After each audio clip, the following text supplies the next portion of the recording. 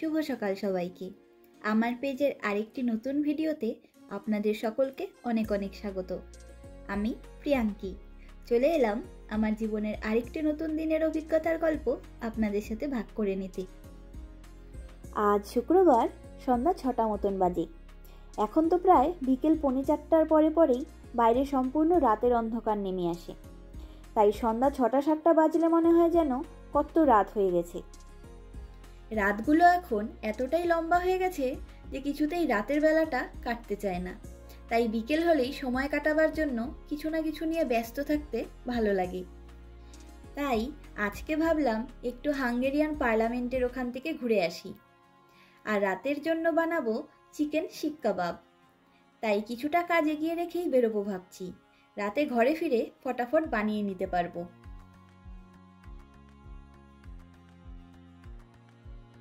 সবার আগেই দেখলেন আমি রসুন, পেঁয়াজ, ধনেপাতা আর কাঁচা লঙ্কা কুচি করে নিয়েছি।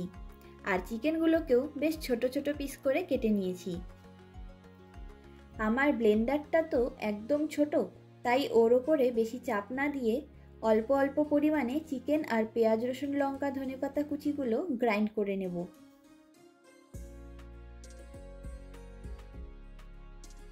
মিশ্রণটি বানানোর সময় আমি আলাদা করে জল অ্যাড করিনি।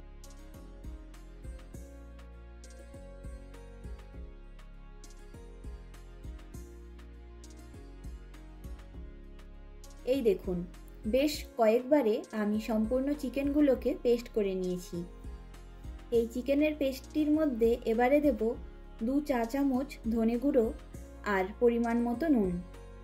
এবারে সব কিছু ভালো করে মিশিয়ে ঢেকে রেখে দেব।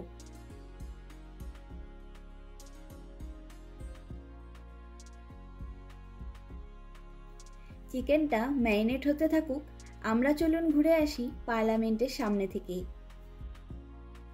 এখন নামলাম পার্লামেন্টের সামনে কোসুতলাজো স্টেট ট্রাম স্টেশনে। সামনের এই ট্রামটিতে করে এলাম। চারিদিকে দেখছি বরফ এখনও বিরাজমান। ইউরোপের রাস্তাঘাটে এতটা আলো দেখে আমাদের অভ্যেস নেই। তাই এখন সবটাই বেশ বেশি আলোময় মনে হচ্ছে। চারিদিকে কত আলো, কত লোকজন। চলুন, সবার আগে রাস্তার ওপার থেকে সম্পূর্ণ পার্লামেন্টের বিল্ডিংটি একবার দেখে নিই।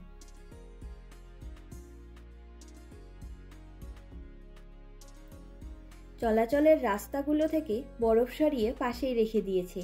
তবে আজ সারাদিন ভালো রোদ ছিল, তবুও সম্পূর্ণ বরফ গলার সুযোগ পাইনি দেখছি।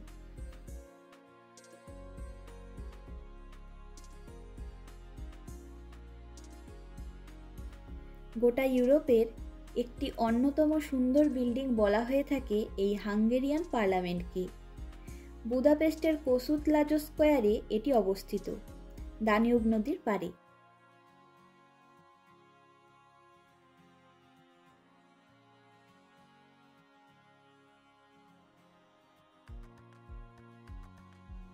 ট্রামগুলো পার হয়ে যাক, তারপর চলুন বিল্ডিংটিকে কাছে গিয়ে দেখি।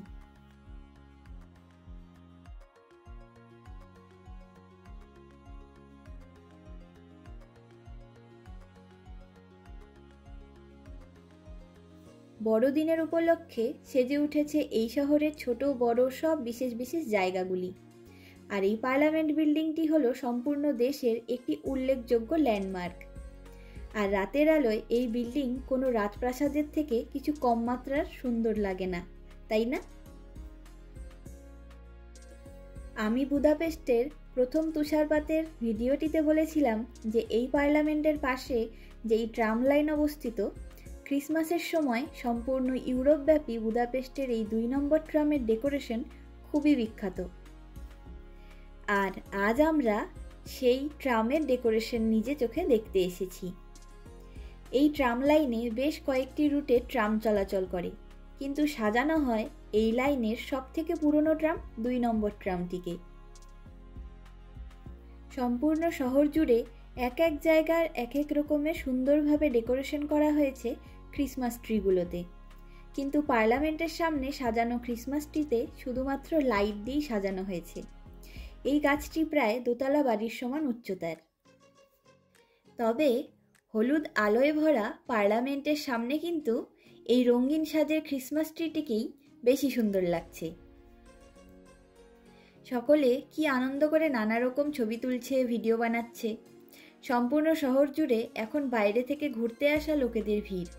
সারা শহর জুড়ে এখন উৎসবের আমেজ।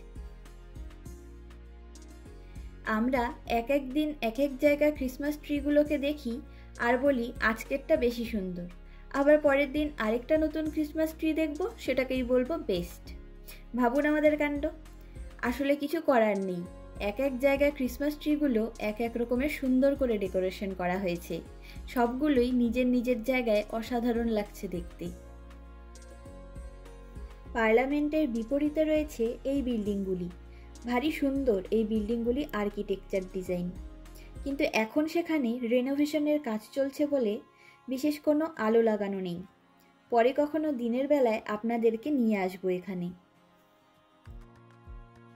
আর এই বিশাল উচ্চতার দণ্ডটিতে হাঙ্গেরিয়ান ফ্ল্যাগ হোস্টিং করা হয় এই দেশের বিশেষ বিশেষ দিনগুলিতে।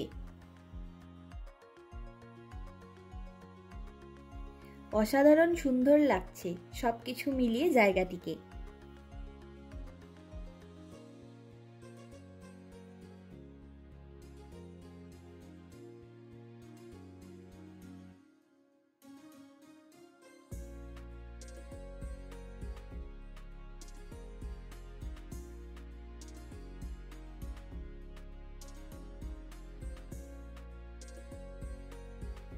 পাশে ডেকোরেশন করা রয়েছে বেতলেহেমে যীশুখ্রিস্টের জন্ম সময়ের ঘটনা এবং পরিবেশের।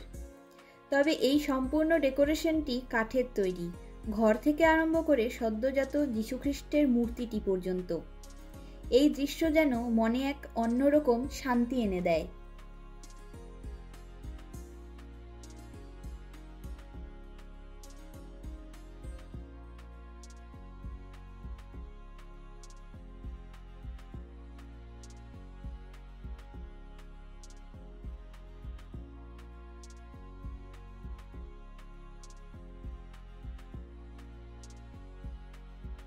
এবারে চলুন আজকের বিশেষ আকর্ষণ সেই ঐতিহ্যবাহী ট্রাম নম্বর দুইয়ের ডেকোরেশন দেখি।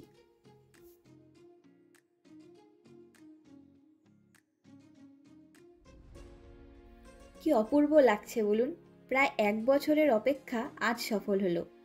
আগের বছর থেকে শুধু অন্যের তোলা ছবি, ভিডিও এবং রিলেই দেখেছি এই ট্রামটিকে।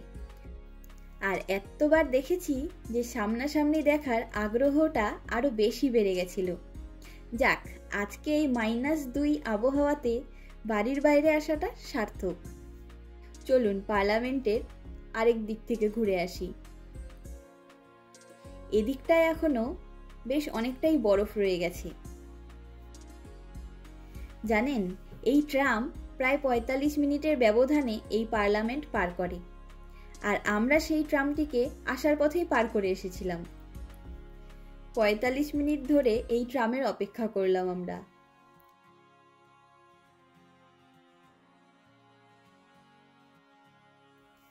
এই ফ্রেমটা থেকে সাজানো ট্রামটির ভিডিও বেশ ভালো আসবে, তাই একবার এই অ্যাঙ্গেল থেকেও ভিডিওটা করলাম। আমি মোট তিনটি অ্যাঙ্গেল থেকে এই ট্রামের ভিডিও তুলেছি। আপনাদের কোন ফ্রেমে ট্রামের ভিডিওটি দেখতে বেশি ভালো লাগল? প্রথম, দ্বিতীয় নাকি তৃতীয়টি? জানাবেন অবশ্যই। বেশ অনেকটাই রাত হয়ে গেছে, আর ঠান্ডাটাও বেশ বেড়েছে। এবারে বাড়ির দিকে এগোই। আর এখন চলুন এই ট্রাম লাইনটির বিশেষভাবে বিখ্যাত হওয়ার সুন্দর কারণটি দেখবেন। এই ট্রাম লাইনটি যাত্রীদের চলমান পথে সুবিশাল ও অসাধারণ সুন্দর দেখতে এই পার্লামেন্টের প্রায় তিন দিকের সৌন্দর্য দেখার সুযোগ করে দেয়।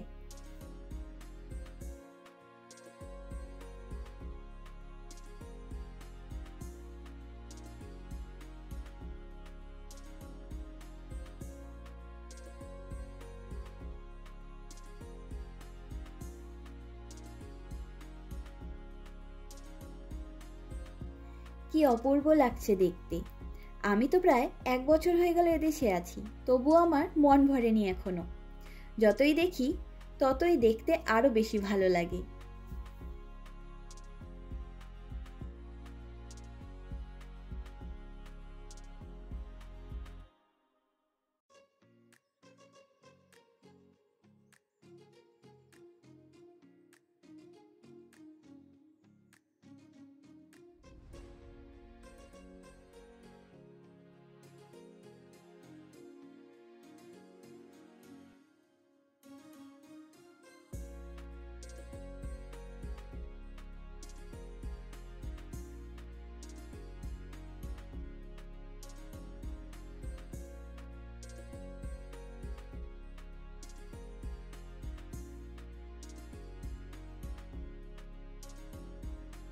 বাড়িতে ফিরে এসে ফ্রেশ হয়ে রান্নার দিকে এলাম। খিদেও পেয়ে গেছে। আর বিশেষ কিছু আয়োজন থাকলে যেন খিদেটাও তাড়াতাড়ি পেয়ে যায়। হাতে একটু তেল মেখে কাবাবের মিশ্রণগুলো কাঠিতে সাজিয়ে এভাবে রেডি করে নিলাম। এবারে একে একে কাঠির কাবাবগুলো বানিয়ে নিই।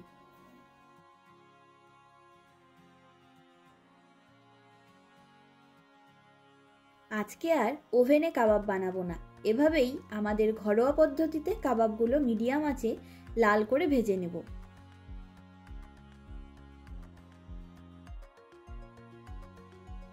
আজকে একটা মজার ঘটনা হয়েছে, জানেন? আমরা তো প্রায় পঁয়তাল্লিশ মিনিট ধরে অপেক্ষা করছিলাম, সাজানো ট্রাম দেখব বলে। আর যেই না সেই ট্রামকে আসতে দেখেছি, অমনি এদিক ওদিক না দেখেই এক দৌড়ে ট্রাম লাইনের কাছে গিয়ে দাঁড়িয়েছি। ট্রামটা পার করার পরে আমার হুশ এসেছে। যে আমি এত লোকের মাঝে দৌড়ে এলাম, কে কি ভাবলো? প্রথমে নিজেরই লজ্জা লাগছিল। কিন্তু সৌভিক বলল, তুই একা না এরকম। তোকে দৌড়াতে দেখে অনেকেই তোর পেছন পেছন দৌড়ে গেছে ট্রামের ভিডিও, ফটো তুলতে। ভাবুন। প্রায় দু ঘণ্টা মতন এগুলো ম্যারিনেট অবস্থায় ছিল। তাই দেখলাম, বেশ তাড়াতাড়ি রান্নাও হয়ে এসেছে।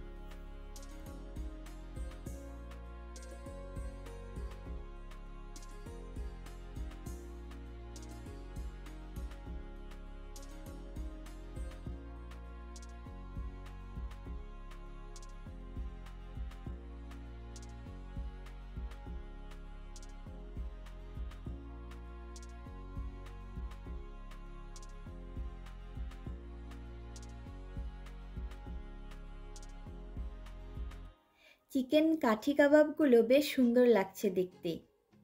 একখানা কাবাব অলরেডি আমরা টেস্ট করে নিয়েছি। খেতেও বেশ ভালোই হয়েছে।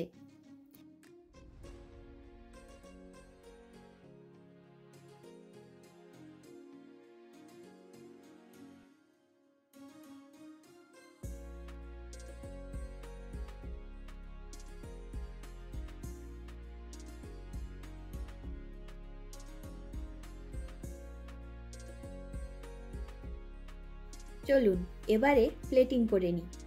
আমাদের দুজনের পছন্দ দুরকম। আমি নিজের জন্য বানালাম টক দই আর সুইট চিলি টমেটো সসে পেঁয়াজ, শসা আর ধনে পাতা কুচি দিয়ে স্যালাড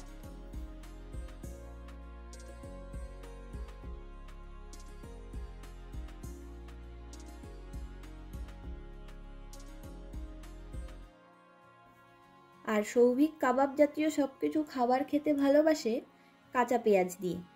আমি একটু পাশে টমেটো সসও দিয়ে দিলাম। তাই দুজনের জন্য দুজনের মন মতনভাবেই প্লেট সাজালাম। বিশেষ কিছু রান্না করলে একটু সাজিয়ে গুছিয়ে নিয়ে খেতে বসতে বেশ ভালোই লাগে, তাই না?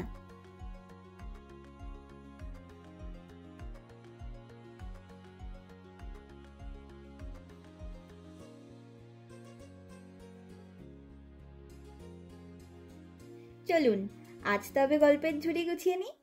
দেখা হবে গল্প হবে পরের একটি ভিডিওতে খুব তাড়াতাড়ি। আমার ভিডিওটি ভালো লাগলে লাইক, কমেন্ট করে জানাবেন আর নিজের পরিচিত লোকেদের সাথে শেয়ার করবেন। তাতে আপনাদের পরিচিত লোকেরাও আমার এই কাজের কথা জানতে পারবেন এবং আমিও নিজের কাজের জন্য উৎসাহ পাব। সকলের ভালোবাসা ও সহযোগিতা ছাড়া আমার এই প্রচেষ্টার উন্নতি অসম্ভব। সকলে ভালো থাকবেন সুস্থ থাকবেন আনন্দে থাকবেন। নমস্কার।